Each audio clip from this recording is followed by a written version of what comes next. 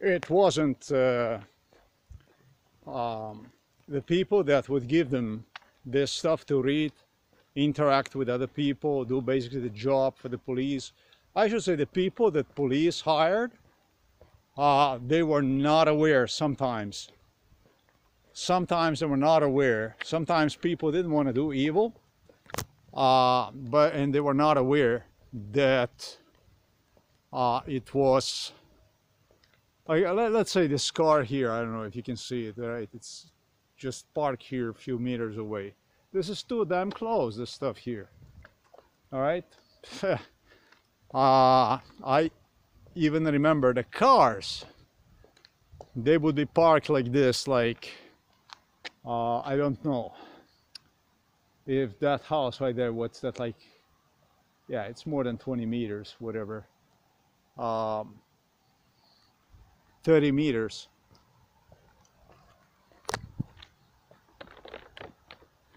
They got the job to do something dirty. They agree they would do it. See that car right there? It's turning right there. Down he turned down that's basically the distance you would have a police car that would be parked. Uh, you would have a group of people coming and they would do the torture they would do harassment with people whom police hired employed to do the torture. And if these people would not do the torture uh, these people did not understood they knew that it's all audio recorded but did not know that there were sensors attached to me which were used for the police officers who sit inside of the car. If it was not the psychiatrist Peter Kapsch, who oftentimes would also appear, he would like to sit inside of those cars with the police and go back and forth with his car and leave and return and back and forth all the time checking about what went on, how, what, how, how this genocide is progressing. They would literally sit inside of the cars with readers on and would be logging absolutely everything, every level of stress, everything, whatever was, whatever sensors were attached to my body, everything they logged absolutely everything down inside of those police cars. They didn't only go and uh, and use these cars basically to ensure smooth crime transmission uh, transition but they would literally go and do the stuff like this as well. The police was doing the stuff like this. The psychiatrist, I said, this this psychiatrist is basically hired assassin. It's not a psychiatrist. I don't know how this is gonna look like for a psychiatrist in general, but I am gonna refer to this psychiatrist as a king psychiatrist. And I don't know how the fuck that's gonna look for you if you have your psychiatric diploma this case will come out people will learn about this. And then I don't know anything about what you're gonna look like as a psychiatrist because I will accent on my complaint and I am gonna put this back on the blog all about complaints which I submitted to the foreign boards of psychiatrists International Association of Psychiatrists where I complain about this torture performed against me by Slovenian police and psychiatrists. And I never mentioned anything about British. I never mentioned anything about American or anything like this. I tried to be as discreet as possible, but it didn't work. It did not work. It was enforced literally down my throat to have it done this way. It was enforced like this, literally by the London. They wanted this way. They stayed loyal to the people they employed in genocide against me. That's all I gotta say. As for uh, Bluetooth uh, readers, health readers attached to my body, including to my ankles, when I would come from hiking and would step inside of the kitchen in front of the mother sometimes and they took off from my ankles whatever they had attached to it it made me feel like I have shackles around them. I felt like I, I'm a prisoner. Totally different feeling than uh, when meeting people on the street. When meeting people on the street, they did the same thing to my father. They made everything so exclusive. It's like, wow, you know, hello, and this and that. The reality was when I returned back home, the reality was when I noticed this individual here on many occasions going completely insane. His name is Boris Papa. This was the man that would directly engage in torture on the streets, getting people straight into my face. He would get people, uh, demand from people to abuse me, instructed people, then he would disappear from the scene and let the police, others handle the situations. He would be the man who eventually monitored police, at times with Milan Kučan from the car. They would come from Ljubljana at times to check with the car to monitor everything about how went on. Together with police, they would stay with the police. This is how it all started. This was the guy who started this this kind of stuff. As for local psychiatrist Peter Kapsch, Peter Kapsch became he would run home from the butcheries that were taking place on the sidewalks of the city of the Novo with the police, with the people involved. For a lunch, he would run home. As soon as he would be done with the lunch, he would he would jump back in the car and pop up right back on the scene. And they were playing with his monitors, watching how much stress you can cause Yep, the main plan, the grand plan was to kill me through the stress. Maybe more than through anything. Their main plan was through the torture, through the stress, sleep deprivation. They were sure they're going to kill me. This was their main plan, their, their number one goal.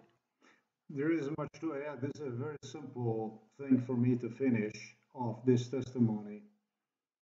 Um, King, uh, now King Charles had me on several occasions, at least I would say.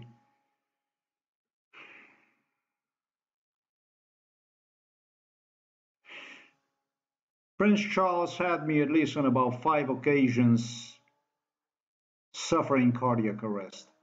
As for the Slovenian police, that would probably go to about maybe 30 occasions.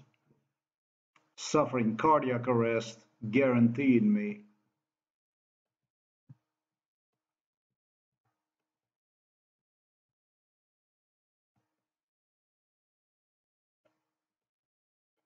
guaranteeing me this issue here, which is known as arrhythmia.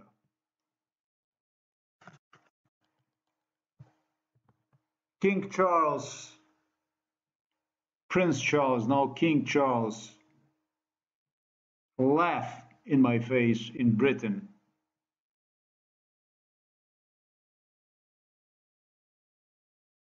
And it was not to make me paranoid, afraid, or anything like this because I had severe pain in my chest, all over the chest.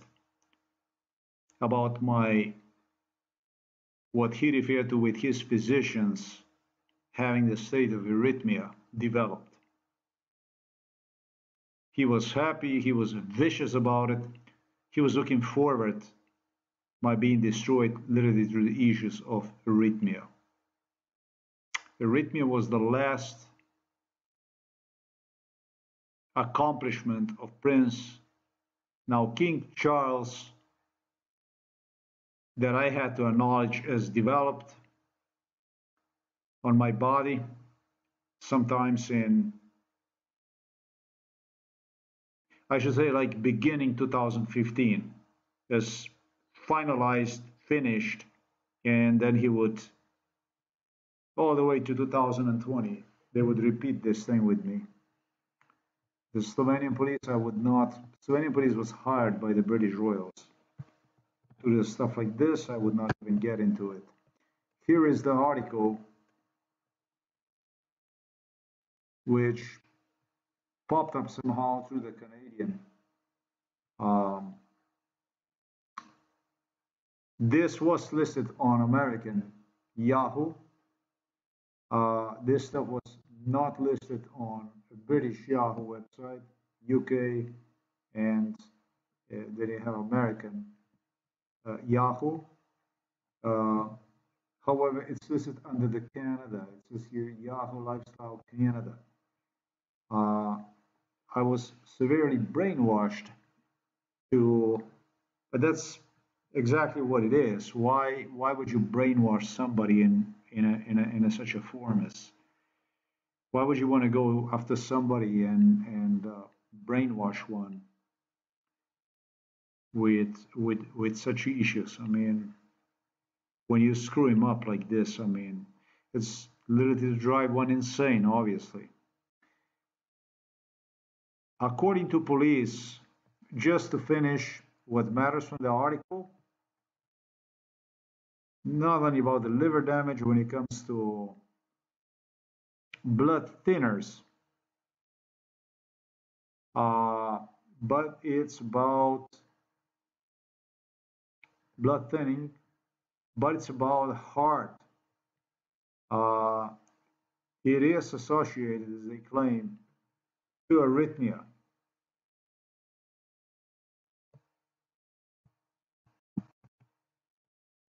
heart populations, blood pressure to heart populations. They talked about the arrhythmia. Heart population, this article was involved in MK Ultra literally, word by word. It's just the way this stuff was done to me. Um, according to police investigators alone, uh, I did not, they were interrogating me on why do I think uh, arrhythmia did not pop up to me yet. Uh, this is something I cannot say that it did not because Slovenian physicians examined me. Uh, I don't pay no attention to this. Um, they explained to me that if you're doing a heavy duty exercise, sports, since young age, uh, push-ups and stuff like this, uh, to develop in one arrhythmia, to develop in one heart population is not an easy thing to do, despite the torture procedure that involved most severe sleep deprivation during MKUltra procedures. Uh, it was said because the body that is really strong has ability to reform itself back into original state and last longer. Whereas the people that are not resistant to uh, to prolonged uh, issues as I described, uh, they do develop, they have a tendency to develop very quickly arrhythmia, heart populations, and so on, troubles, which I'm not excluding. Uh, there is a possibility I have it. I'm not going to get into it because I didn't get any kind of health examinations. I don't consider the health examinations under this kind of circumstances the health examinations. I don't consider them as a valid. Uh, there was lying, there was cheating, there was omission of real results. I don't take them as legitimate.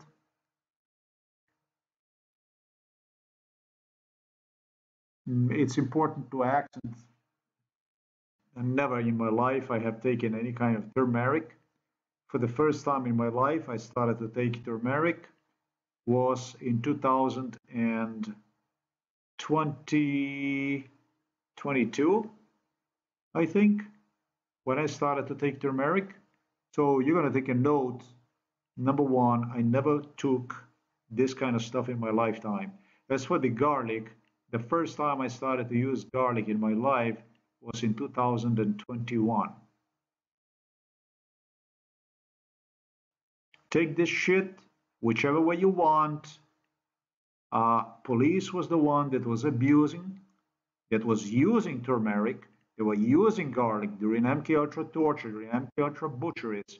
They were forcing me this shit down my throat, doing all kinds of stuff on me, including using a calcium pills, I should say supplements, for which, by the way, if I have to remind police, Slovenian police, my mother, people involved in it, my best friend Previously, my best friend, police officer Simon Bartel was the one who figured out that I also need, regardless of multivitamins, which were due to amount of multivitamins forced down my throat, uh, became damaging for my liver, damaging for my kidneys. They realized uh, I just started to take them first time now. This calcium pills, supplements, I should say, uh, that they are a necessary part of my diet.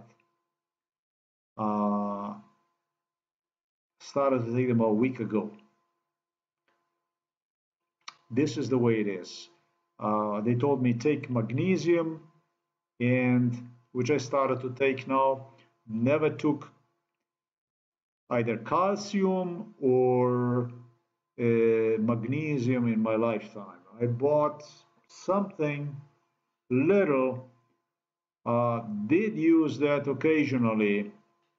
Altogether, maybe that would summarize to about maybe 50, 50 pills, 60 pills maybe for my entire lifetime of magnesium um, never was taking any calcium.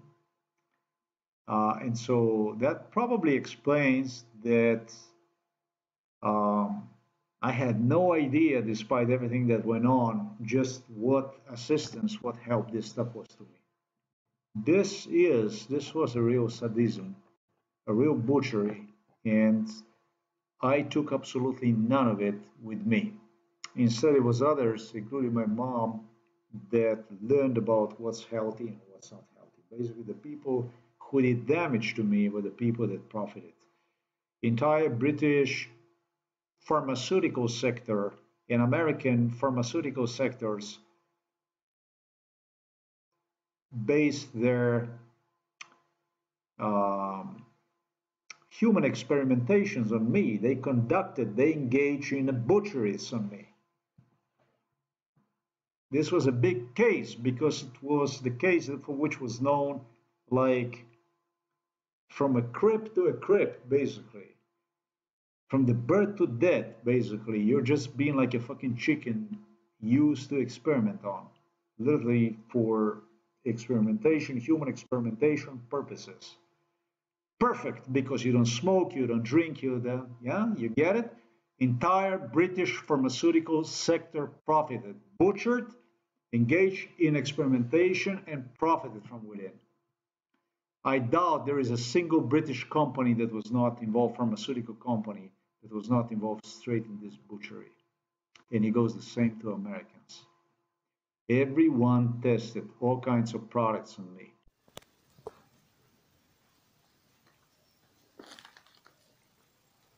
It's called the cookies plasma.